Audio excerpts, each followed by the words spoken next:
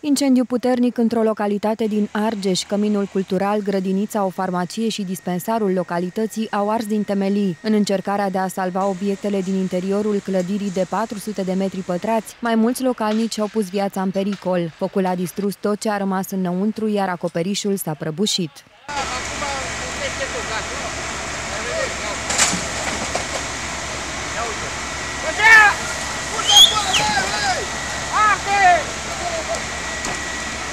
Incendiul a avut loc în comuna Leordeni, iar flăcările s-au extins rapid și au cuprins întreaga clădire în care funcționau dispensarul, grădinița, farmacia și căminul cultural din localitate.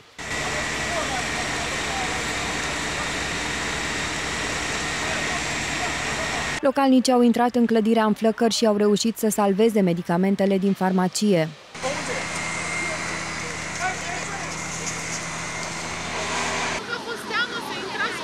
clădirea? Nu, doamnă, că au sărit toți oamenii, toți vecinii, toată lumea. Da, nu. Să salvați medicamentele. Salvăm medicamentele și acte și documente și tot ce se poate salva. Da, foarte mari. Se, se vedeau de la autostradă.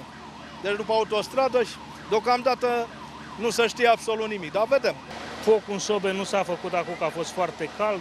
Oricum, acum câteva zile a plouat, ca să zicem că a venit focul dintr-o de la un teren cu vegetație uscată. Pompierii au intervenit cu patru autospeciale și un echipaj smurd.